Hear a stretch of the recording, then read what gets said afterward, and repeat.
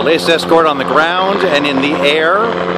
Officers from Jacksonville Sheriff's Office, Clay County and St. Johns County Sheriff's Office, and many of the beaches departments here, along with about 200 cars